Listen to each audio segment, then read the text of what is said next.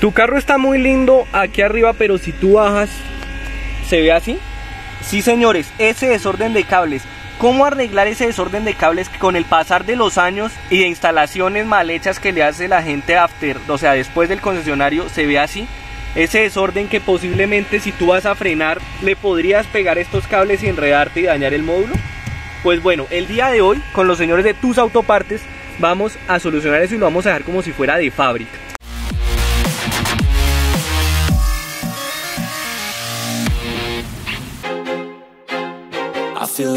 Lo primero que hacemos es destapizar la parte de abajo del volante, tanto el cuello del volante como la parte de abajo, como también la parte que cubre a los fusibles, porque casi todo ese cableado de abajo va a los fusibles y al módulo de encendido, casi todo.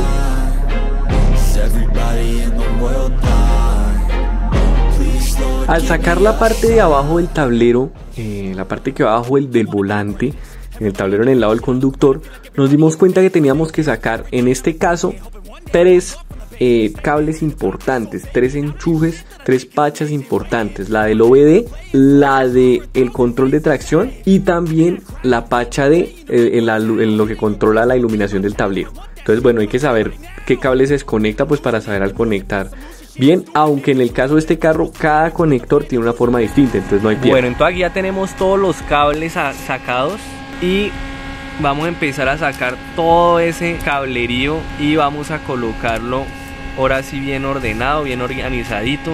Esta, esta mallita dice que es original del carro, ¿cierto? sí, es, eh, o sea, este cableado viene original. Normalmente tendría que venir así. Sí, así, pero esto sí está tocado, ¿cierto? Esto, sí se lo toca.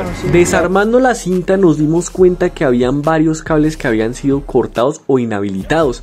Cables que seguramente fue porque este carro le cambiaron la alarma, le cambiaron el sistema de virus eléctricos, pensé que se lo tocaron, también le tocaron el radio, sí, entonces tenían, tenía cables que seguramente tenían de fábrica originales, pero se los, eh, se, los, se los inhabilitaron. Bueno, ¿qué sucede acá?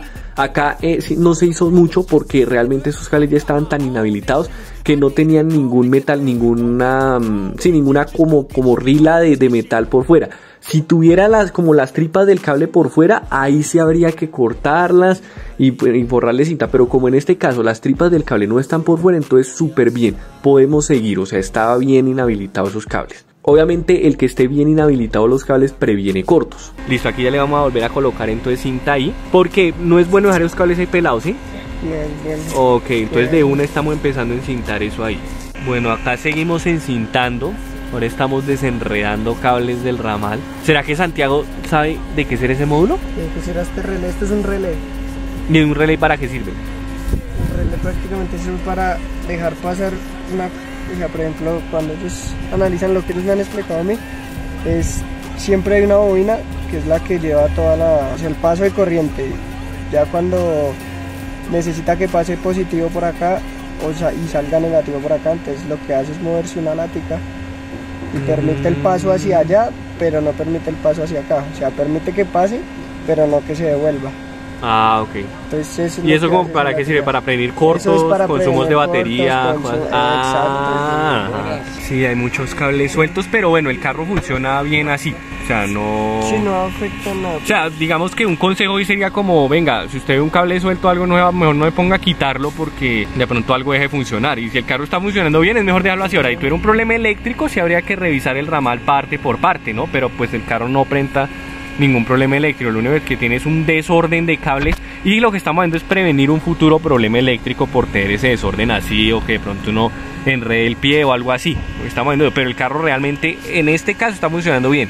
Si tuviera algún problema, también lo solucionarían. Bueno, miren ya cómo vamos, ¿ah? Miren ya cómo se... Uy, qué diferencia. Vamos de ese reguero de cables a solamente tener una hilera súper bien así como cuando viene del concesionario. Vean, ya tan, ahorita ya ponemos eso arriba, que hacemos conectar las pachas y queda perfecto el trabajo. Exacto. Estéticamente Estaba estéticamente paile, exactamente. Bueno, preliminar, antes de conectar ya organizamos todo ese miércoles, había un vómito de cables, ya quedamos sin vómito de cables, ahora solamente están varios ramales, o sea, juntamos por, por grupos de ramales y listo, y ya quedó, miren, ya quedó, miren con esta cintica, mucho más fina la cosa, Todo falta conectar y organizar allá arriba, pues para que no se vaya a ver algo feo, sino que ya organizadito, todo negro, fondo negro, todo bien. Vamos a ver cómo va a quedar. Ya empezamos a conectar los cables. Lo primero que conectamos fue el módulo encendido nuevamente, pero este ya lo metimos arriba, normal, como debería de ir, no abajo todo caído al pie del pedal del freno como estaba, sino ahora sí ya lo pusimos arriba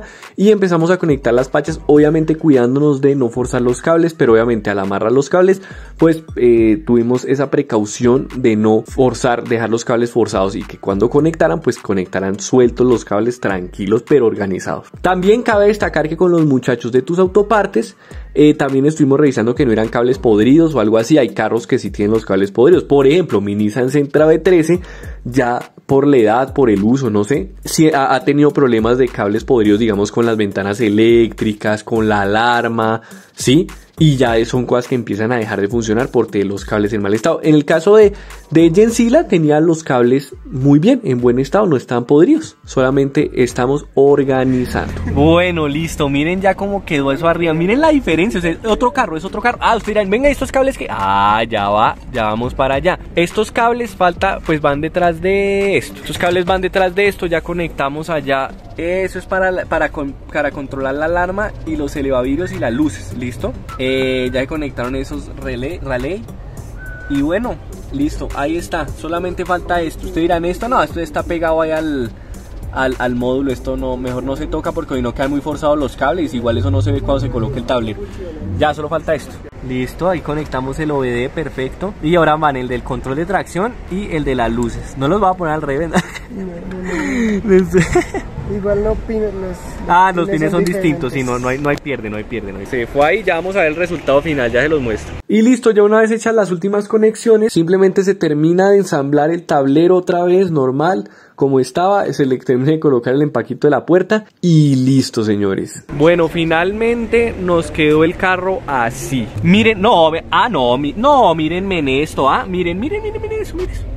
Ah, miren esa diferencia, quedó casi, casi como si fuera de fábrica o prácticamente, mejor dicho, miren. Lo único ahí se ve este poquito, pero es que ese es el, miren, es que ahí ya llega un conector, ¿sí ven?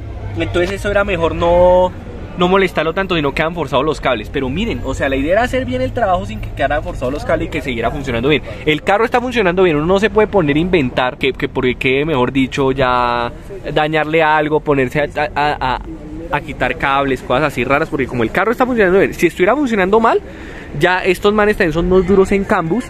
Ya tocaría mirar a ver qué es lo que está funcionando mal. Cable por cable. Pero como está funcionando bien y solo necesitamos organizar, quedó perfecto. O sea, el, objetivo se cumple no, miren, es que miren, ¿se acuerdan que había algo? Me he dicho aquí les bajaré la hora y el antes, desde la misma, desde el mismo ángulo, vean.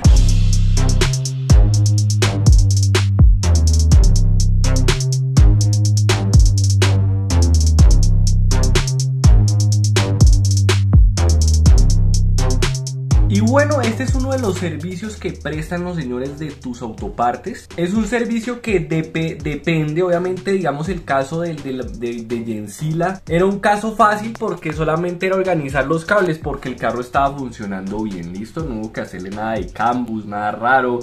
Eh, no hubo que quitar, digamos, cables podridos. Todo estaba en perfecto estado, solo que estaba desordenado. Entonces un servicio así como el que se le prestó a Gensila que es el más fácil de todos, puede valer unos 50 mil pesos y pues obviamente depende de la disponibilidad de los técnicos de tus autoparques. Pero digamos que ustedes tuvieran algún problema eléctrico y tocara buscar o tocara reemplazar cableado ya con materiales y eso ya puede salir por 200, 250 mil pesos, ¿sí?